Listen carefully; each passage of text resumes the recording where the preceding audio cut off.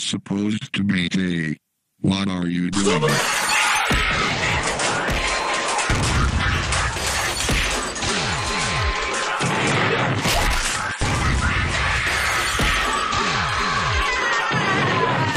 Hey.